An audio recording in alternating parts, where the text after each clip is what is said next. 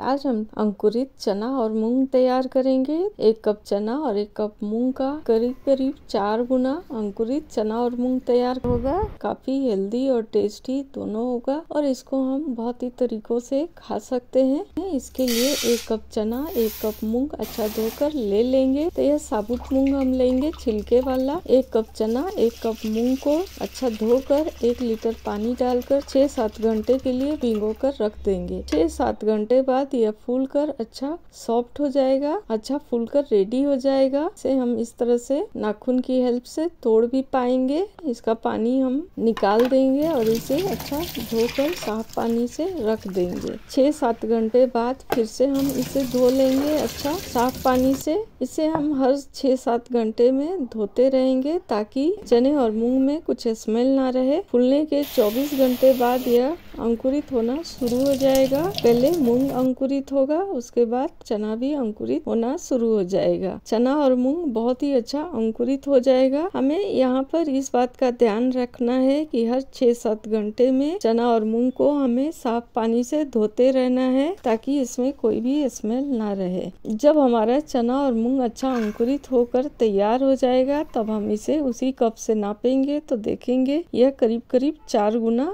ज़्यादा हो गया है। हमने दो कप लिया था चना और मूंग, यह बढ़कर आठ कप के करीब हो गया है। ये अंकुरित चना और मूंग बहुत ही हेल्दी और टेस्टी भी होगा। इसे हमने तैयार कर लिया है। इसे आप फ्रिज में स्टोर करके रख सकते हैं। यह आठ दस दिनों तक खराब नहीं होगा। बस इसमें जब आपको यूज़ करना हो तो एक दो पानी अच्छा साफ़ धो ले। तो इसे ब्रेड पर इस तरह से रख कर सैंडविच की तरह आप खा सकते हैं। इसमें स्वाद के लिए आप बटर, नमक, मसाले, टमाटर, प्याज, उबले हुए आलू, इन सबको बारीक काट कर भी डाल सकते हैं। मिक्सचर, चिप्स, आलू का भुजिया आदि मिला सकते हैं। तो इसका टेस्ट थोड़ा और भी बढ़ जाएगा, लेकिन यह सिर्फ़ आप इसे ब्रेड के ऊपर भी रखकर ऐसे भी खाएँगे तो भी यह टेस्टी लगेगा। रोटी के साथ ये अंकुरित चना और मूंग ले ले और साथ में कोई सब्ज़ी है तो आप इसे खा सकते हैं। यह बहुत ही टेस्टी लगता है। मेरे बेटे को यह बहुत ही पसंद है। गोलगप्पे में आलू का जो मसाला हम भरते हैं, वहाँ पर आप इस अंकुरित चने और मूंग उसके जगह पर भर सकते हैं या उसके साथ मिलाकर भर सकते हैं। कोई हरी सब्ज़ी में भी आप डालकर इसको बना सकते हैं। जैसे मैंने कच्चे केले के सब्ज़ी में इसको मिलाया है। तुरई के सब्ज़ी में आप मिला सकते हैं। लौकी में, बैगन में आप इस अंकुरित चना और मूंग को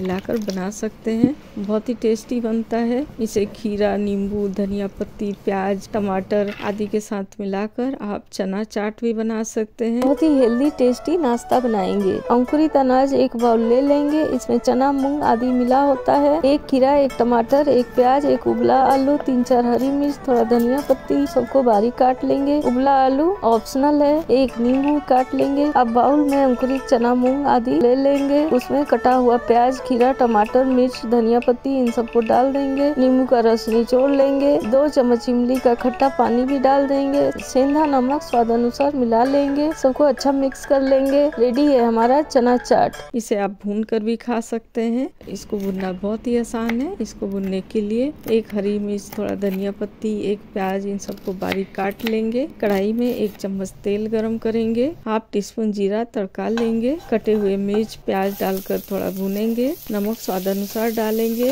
अंकुरित चना और मूंग को डालेंगे, भुनेंगे। ढककर 10 मिनट के लिए थोड़ी थोड़ी देर में चलाते हुए पका लेंगे। बहुत ही टेस्टी भुना हुआ चना और मूंग तैयार हो जाएगा। इसे आप खीरा, नींबू, धनिया पत्ती, इन सब के साथ सर्व कर सकते हैं। धनिया पत्ती के साथ गार्निशिंग कर सकते हैं। बहुत ही टेस्टी भुना हुआ चना मूंग तैयार हो जाएगा। तो आप अंकुरित चना और मूंग को तैयार कीजिए और इसको कोई भी तरीके से यूज़ कीजिए। बहुत ही हेल्दी होता है और टेस्टी भी लगता है। अंकुरित चना और मूंग को तैयार कीजिए और खाइए। एंजॉय कीजिए। थैंक्स